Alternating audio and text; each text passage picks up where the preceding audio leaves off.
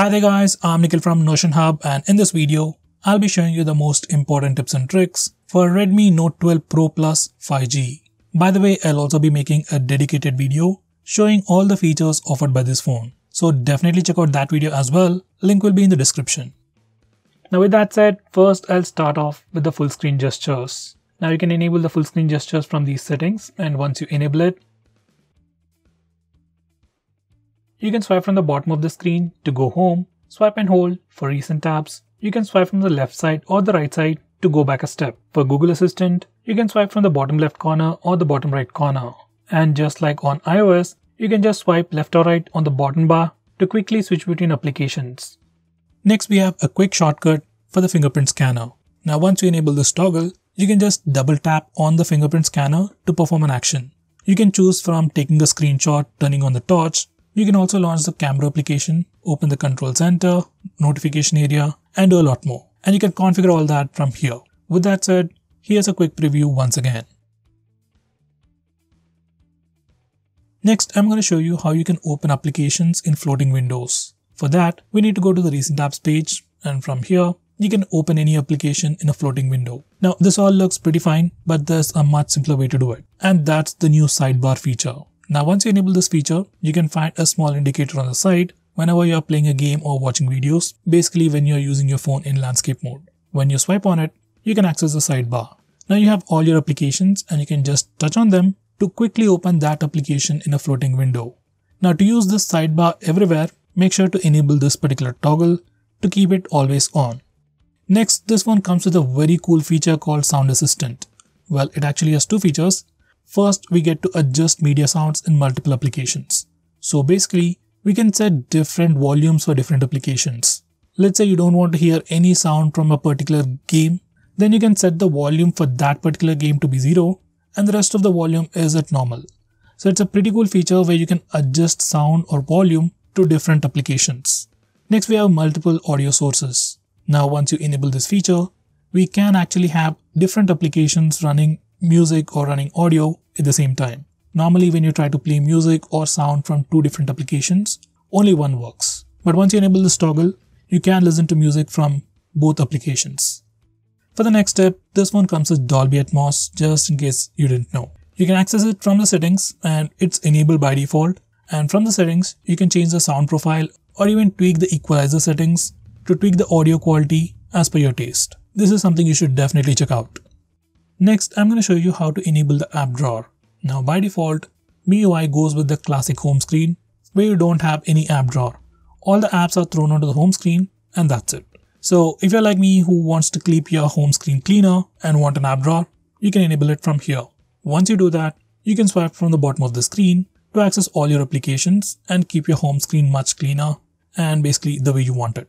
By the way, we can also customize this app drawer you can change its background and its transparency as well. Next, we can also trigger Google Assistant by just using the power button. You just need to enable this toggle and then press and hold the power button to trigger Google Assistant.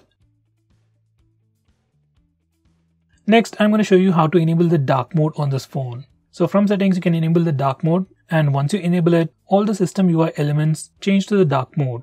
Even stock apps like phone dialer, SMS application even change to the dark mode. Even the Google applications will automatically change to the dark mode. Now this dark mode definitely helps you save some battery, looks much more cooler, and also affects your eyes less at night. From these settings, you can also schedule to automatically turn on and turn off dark mode at a specific time.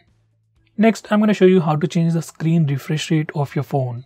This phone actually comes with a 120Hz refresh rate display. It's actually a good thing but it also drains a battery a bit more. So for some reason, if you really don't care about the refresh rate of your display and want a little bit more better battery life, you can always switch back to the 60Hz. Personally, I would suggest you to put it at maximum for the best user experience. Next, I'm going to show you how to change the fingerprint recognition method. This one actually comes with a side-mounted fingerprint scanner and there are two ways to unlock the phone, touch option and press option. By default, it is set to touch. So whenever you just touch the fingerprint scanner, it instantly tries to unlock the phone. Well, it's a good feature, But personally, I faced many accidental touch issues. So I would suggest you to go with the press option. So once you select the press option, you actually have to physically press the fingerprint scanner or the power button to unlock the phone. This is something I would definitely recommend you to do. Next, I'm going to show you how to take pictures using palm gesture. So this feature has been added recently on the Xiaomi phones. You just need to enable this option and just show the palm to the front facing camera and your phone will automatically take a picture. It's not a big feature, but something you might definitely want to try. Next, I'm going to show you how to remove the camera watermarks from your pictures. By default, whenever you take a picture on a brand new phone, you will always end up with watermarks. So if you don't like that, just disable the toggle for device watermarks. For some reason, if you want to add your own custom watermark, you can also do it from the same settings. By the way, if you don't like the camera shutter sound every time you take a picture, you can also disable it from the settings. Just disable the toggle for the camera sounds. Next, I'm going to show you how to take screenshots on this phone. By default, on any Android phone, if you want to take a screenshot, you can just press the volume down button and power button both at the same time to take a screenshot. For some reason, if that's a bit difficult for you, on this phone we also have the three finger screenshot gesture. Once you enable it, you can just swipe down using three fingers to take a screenshot. By the way, we also have a quick shortcut to take a screenshot even in the notification toggles. Next, I'm going to show you how to take a longer screenshot. So to take a longer screenshot, first we need to take a regular screenshot. You can either use the buttons or the gesture. Now once you take a screenshot, you will see a small pop-up preview. Just tap on scroll to start taking a long screenshot.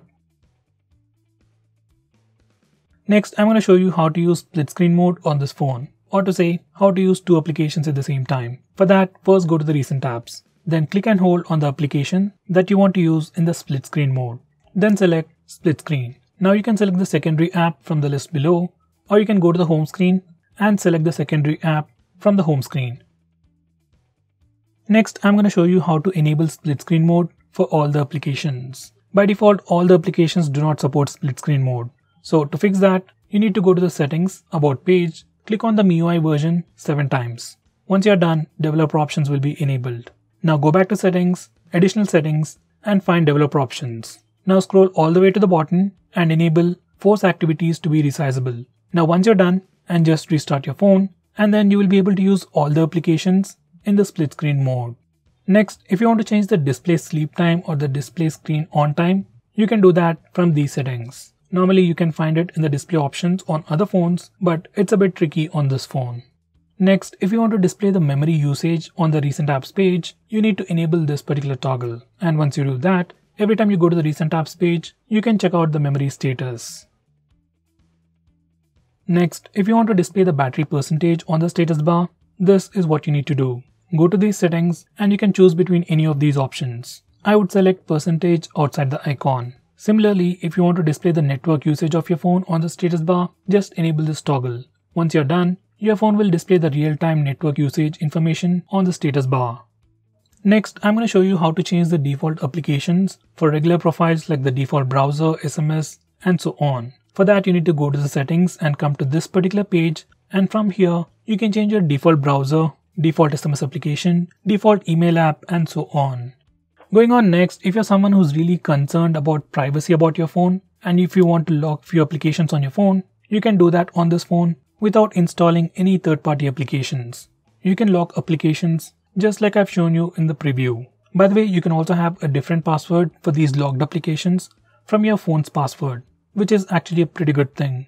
By the way, we can also use the fingerprint scanner and the face unlock features to unlock the logged applications. For that, we need to enable those options from settings.